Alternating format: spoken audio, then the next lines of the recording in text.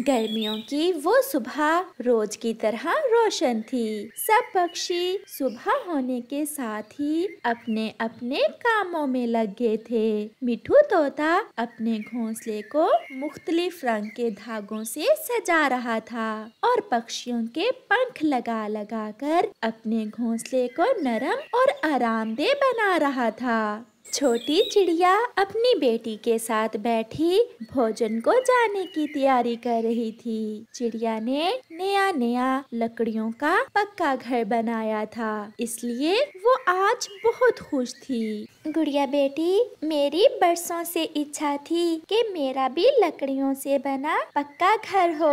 आज मैं बहुत खुश हूँ। मम्मा जब मैं आपको खुश देखती हूँ तो मुझे भी बहुत खुशी होती है। अब हमारी चिंता खत्म हुई, घर बन गया। अब हमें बारिशों से भी कोई डर नहीं है।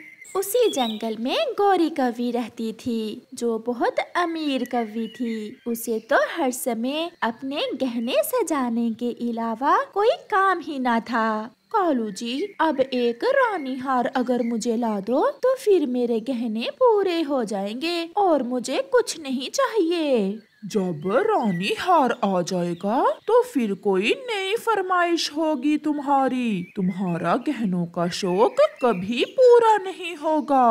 सेठ कालू की पत्नी हूँ अगर दूसरों से अलग नहीं दिखूँगी तो कैसे पता चलेगा दूसरों को कि मैं आपकी पत्नी हूँ? हाँ। ये तो है। चलो अब जल्दी से गहने रखो क्योंकि आज हमें कबूतर के घर पार्टी पर जाना है। कव्य ने अभी ये बात की ही थी कि उसे सब हिलता हुआ दिखाई देता है। गोरी बर्तन हिल रहे हैं और वो देखो खिड़की और दरवाज़ा भी हिल रहा है। कालू, भागो, घर से बाहर निकलो। भूकम है, ये भूकम है। उससे पहले कि वो दोनों घर से निकलते, एक ज़ोर की गूंज आती है। उनके घर की छत गिरती है। हर तरफ़ शोर था। बचाओ बचाओ की आवाज़ें आ रही थी। गोरी दरवाजे के नीचे दबी हुई थी। घर का मलबा उनके ऊपर गिरा पड़ा था। चिड़िया का नया घर टूट चुका था। उसकी बेटी गुड़िया छत के नीचे दबी अपनी माँ को आवाज़ें दे रही थी। गुड़िया, मेरी जान, मैं निकालूँगी आपको। मैं अभी निकालूँगी। आपको कुछ नहीं होगा। वो पूरा ज़ोर लगाकर छत की बड़ी लकड़ियाँ उठाने की कोशिश कर रही थी, मगर वो कमज़ोर चिड़िया ये सब कैसे कर सकती थी? मगर उसकी ममता उसे बैठने भी तो नहीं दे रही थी। लकड़ियों के ढेर के ऊपर कबूतर बैठा हुआ था, जो अब से चंद मिनट पहले उसका घर था। उसे तो उसकी पत्नी की आवाज़ भी सुनाई नहीं दे रही थी। वो रो रहा था और सोच रहा था लूसी, अगर मैंने आपकी बात मान ली होती और सुबह आपके साथ नदी पर चला गया होता तो हम भूकंप से बच जाते, आप मरने से बच जाती। मगर मगर मुझे क्या खबर थी? क्या पता था कि ये सब होने वाला है। ऐसा भूकंप पहले कभी नहीं आया, पहले तो कभी ऐसा नहीं हुआ। मिठू तो था, ना तो रो रहा था और ना ही कुछ बोल रहा था। वो तो हैरानी से अपना धागों से सजा हुआ घोंसला ज़मीन पर उल्टा पड़ा देख रहा था। शायद कोई नहीं बचा होगा। जिस जिसका पक्का लकड़ियों का घर होगा, वो नहीं बचा होगा।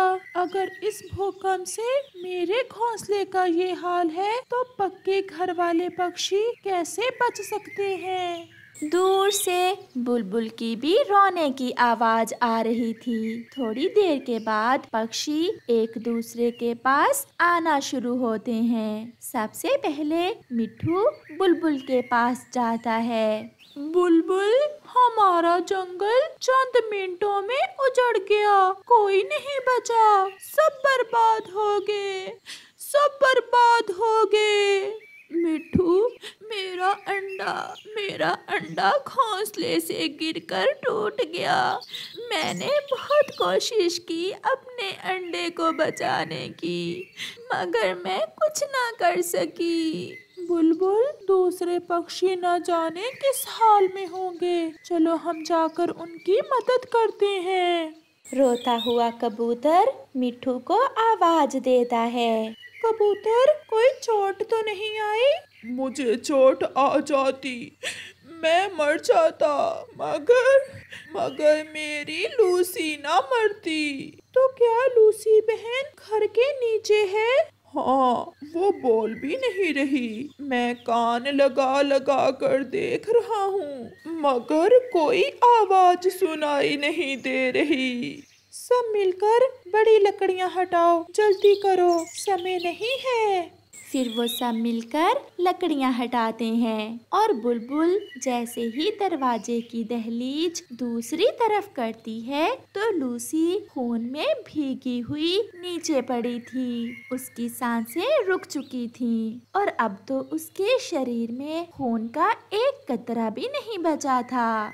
लूसी, मेरी जान आप मुझे छोड़कर चली गई। हमने वादा किया था, हम साथ रहेंगे, साथ जिएँगे, साथ मरेंगे।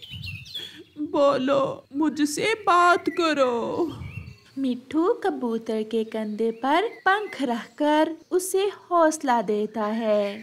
कबूतर हमें दूसरे पक्षियों के पास जाना होगा। हम लूसी को तो ना बचा सके। हो सकता है हमारी किसी और को ज़रूरत हो। फिर वो सब वहाँ से उड़ते हैं। कालू कौवा गोरी का पंख देख देख कर रो रहा था। कबूतर मिठू और बुलबुल कौवे के पास जाते हैं। मैं लुट गया। कबूतर मैं लुट गया। तुम्हारी भाभी मर गई। ये पंख ये पंख नज़र आ रहा है उसका। उसके सर पर छत गिरी थी। जब भूकंप आया, मेरा अंडा टूट गया और लूसी भी बच ना सकी। कवे हमें एक दूसरे को हौसला देना होगा, एक दूसरे के दुख को कम करना होगा। दूर से चिड़िया की आवाज़ सबके कानों में पड़ती है। बचाओ बचाओ मेरी मदद करो मेरी गुड़िया को छत के नीचे से बाहर निकालो कोई मेरी मदद करो। चिड़िया की आवाज़ है सब चलो वो मदद की गुहार लगा रही है जल्दी चलो। फिर वो सब वहाँ से उड़ते हैं। मैं कब से आपको बुला रही हूँ? मेरी गुड़िया मेरी गुड़िया छत के नीचे ज़िंदा है। वो मुझे बुला रही है। मुझे आवाज़ दे रही है मेरी गुड़िया। कबूतर, इस बड़ी लकड़ी को एक तरफ़ से उठाओ और मैं दूसरी तरफ़ से उठाता हूँ। मिठू, बुलबुल और चिड़िया सब मिलकर लकड़ियाँ हटाते हैं। मम्मा, मैं यहाँ हूँ। मैं ठीक हूँ, मम्मा। ये खिड़की मेरे ऊपर से हटाएँ।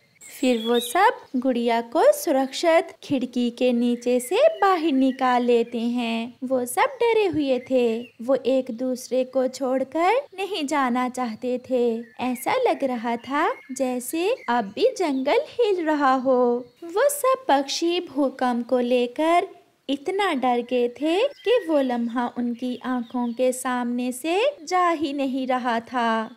शाम के बाद रात हो जाती है। वो सब एक पेड़ पर बैठे हुए थे। रोज की तरह चाँद रोशन था और वो सब बैठे एक दूसरे की तरफ़ देख रहे थे। उन्होंने आज के दिन बहुत कुछ खोया था। किसी ने माँ, किसी ने पति तो किसी ने अंडा।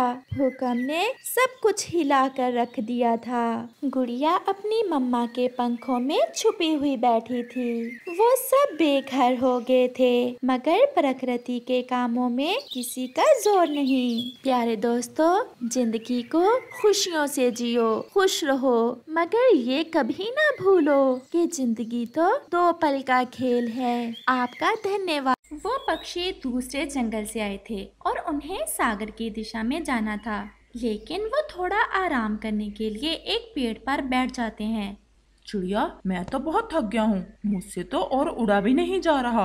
हम सब थके हुए हैं लेकिन हमें सफ़र तो करना ही होगा। ऐसे अनजान जंगल में रात कैसे गुजारेंगे?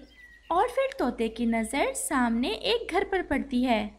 दोस्तों वो सामने एक घर है। हम सब वहाँ जाते हैं और आज की रात उस घर में गुजारते हैं और फिर सुबह होते ही अगला सफ़र शुरू करेंगे। न जाने वो घर किस पक्षी का है। क्या वो हमें आशा देगा अपने घर में? हम एक बार जाकर पूछ लेते हैं। ऐसा भी तो हो सकता है कि वो पक्षी दयालु हो और हमें आज की रात अपने घर में रख ले। और फिर वो सब उस घर की तरफ़ जाते हैं। कबूतर घर के दरवाजे पर दस्तक देता है, लेकिन अंदर से कोई आवाज़ नहीं आती। वो फिर से दस्तक देता है। इस घर में तो कोई भी नहीं है। वो सामने दो और भी घर हैं। मुझे तो ऐसा लग रहा है यहाँ कुछ पक्षी रहते हैं और इस समय वो भोजन लेने गए होंगे। वो अभी ऐसे बातें कर ही रहे थे कि वहाँ एक कौवा और कव्वी आ जाते हैं। क्या झाँक रहे हो हमारे घर में? कुछ नहीं बहन जी, हम परावासी पक्षी हैं। सागर की दिशा में जा रहे थे। थक गए थे उठते उठते और फिर हमने ये घर देखा तो यहाँ आ गए आप हम सब पर दया करें और आज की रात हमें अपने घर में रख लें। आपकी बड़ी कृपा होगी हम पर। लेकिन अगर हम तुम्हें बने बनाए घर ही दे दें तो फिर कैसा लगेगा तुम्हें? ये सुनकर तो सब बहुत हैरान हो जाते हैं। क्या? क्या मतलब? हम समझे नहीं आपकी बात। बात ये है कि वो साथ में जो दो घर खाली हैं, वहाँ कुछ पक्षी रहते थे लेकिन वो अब यहाँ से चले गए हैं और अब ये घर हमारे कब्जे में है। आप तो बहुत अच्छे पक्षी हैं ऐसे ही दूसरे पक्षी कहते रहते हैं कि कौवे बहुत बुरे होते हैं। सब झूठ बोलते हैं लेकिन तुम मेरी पूरी बात सुन लो। वो घर तुम ले सकते हो परंतु बदले में किराया देना होगा तुम्हें। किराया? कितना किराया देना होगा हमें? कुछ ज़्यादा नहीं बस तीन दाने चावलों के हर रोज एक घर के बदले में। ये सुनकर तो उन सब की आँखें खुली की खुली रह जाती हैं। लेकिन रात भी होने वाली थी। वो थके हुए भी थे इसलिए कबूतर दूसरे दोस्तों से पूछे बगैर ही ऐसा कहता है हमें मंजूर है हम कल से हर रोज आपको चावलों के तीन दाने ला दिया करेंगे। कबूतर ऐसा कैसे होगा? हम कर लेंगे चिड़िया। बस कुछ दिन यहाँ ही गुजार लेते हैं और तब तक हमारे जंगल का मौसम भी ठीक हो जाएगा। और फिर हम सागर की तरफ़ जाने की बजाय यहाँ से ही वापस चले जाएँगे। चिड़िया और तोते को भी कबूतर की बात अच्छी लगती है। जल्दी जल्दी बताओ, हमें कोई और भी काम है? हमें स्वीकार है। तो फिर जाओ और आज से तुम इन दोनों घरों में रह सकते हो। और फिर तोता, कबूतर और चिड़िया वहाँ से चले जाते हैं। ले भी कालू, कल से भोजन की चिंता भी खत्म हुई। मुफ़्त में भोजन मिल जाया करेगा। लेकिन गोरी, तुम तो जानती हो, वो घर कितने कमज़ोर हैं। अगर उन पक्षियों के ऊपर गिर के तो फिर मेरे कौन सा रिश्तेदार हैं ये पक्षी? छत गिरती है तो गिरे, लेकिन जब तक ज़िंदा है, तब तक तो चावल खाएँगे मुफ़्त में। और फिर रात हो जाती है, और वो दोनों सो जाते हैं। दूसरी तरफ़ तोता, कबूतर और चिड़िया, इस बात से अनजान थे। कि जिस घर में वो बैठे हुए हैं, वो तो बहुत कमज़ोर है। शायद इसी कारण बुलबुल वो घर छोड़कर दूसरे जंगल चली गई थी। कबूतर भैया अच्छा ही हुआ। ये डील इतनी भी महँगी नहीं है। हम शाम को आते हुए एक एक दाना चावल का लिया करेंगे। बस कुछ ही दिनों की तो बात है। ये दिन ऐसे ही हमारे किराए के घर में गुजर जाएँगे और फिर हम वापस लौट जाएँगे। और फिर वो सब सो जाते हैं। दूसरे रोज गोरी सुबह सुबह ही उनके पास आती है। परावासियों कैसा लगा ये घर? बहन जी बहुत अच्छा है। किराया भी कुछ ज़्यादा नहीं है। ऐसा करना शाम से थोड़ा पहले ही हमारा किराया पहुँचा देना। हम तो आज भोजन की खोज में नहीं जाएँगे। चिंता ना करे कव्वी बहन हम पक्षी जबान के पक्के हैं। हम शाम से पहले ही आपका किराया पहुँचा देंगे। और फिर गोरी वहाँ से चली जाती है। दोस्तों, चलो देखते हैं इस जंगल में हमें खाने को क्या क्या मिलता है।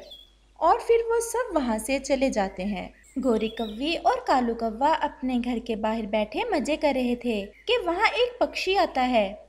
मैं बादलों का संदेश लेकर आया हूँ। मैं पहले भी बता कर गया था कि आज रात इस जंगल में बहुत तेज बारिश के साथ तूफ़ान आने वाला है। बेहतर यही है सब यहाँ से दूसरे जंगल चले जाएँ। तूफ़ान बहुत तेज होगा। ऐसा ना हो कि तुम मारे जाओ। पक्षी जी सब चले गए हैं यहाँ से। इस जंगल में हम दोनों के सिवा दूसरा कोई नहीं है। लेकिन तुम्हें भी चले जाना चाहिए। पक्षी जी आप चिंता ना करें। हमारा घर तो बहुत मज़बूत लकड़ियों से बना है। कैसा भी तूफ़ान हो हमारा घर टूटने वाला नहीं है। वो ऐसे बैठे हुए थे कि वहाँ कबूतर भी आ जाता है। लो जी कव्वी और कव्वी आपका किराया। कव्वे तुम तो कह रहे थे कि इस जंगल में और कोई दूसरा पक्षी नहीं है। सब चले गए हैं लेकिन फिर ये कबूतर कहाँ से आ गया?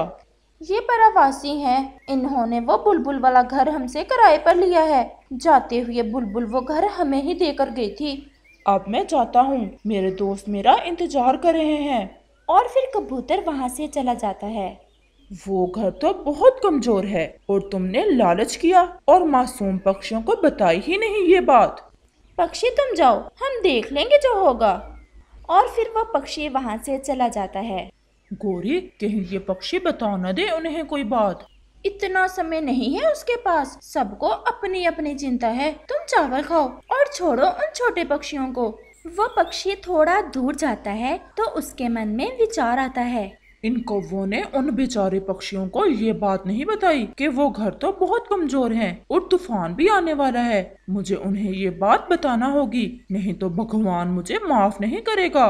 और फिर ऐसा सोचते हुए वो पक्षी वापस होता है। दरवाज़ा खोलो। जल्दी करो मेरे पास समय थोड़ा है। क्या बात है पक्षी? दरवाज़ा तो खुला ही था। मैं मौसम का संदेश लेकर आया था। आज रात बड़ा तूफ़ान आने वाला है। इसलिए इस जंगल के सब पक्षी ये जंगल छोड़कर दूसरे जंगल चले गए हैं। लेकिन पक्षी कव्वार कव्वी तो इसी जंगल में रहते हैं। उन्होंने ही हमें ये घर किराए पर दिया है। मेरी बात मान लो, ये घर बहुत कमज़ोर है। बुलबुल के थे ये घर, इसलिए वो ये घर छोड़कर चली गई है। वो कव्वे तो है ही लालची और उनके घर मज़बूत हैं, इसलिए वो यहाँ से नहीं गए।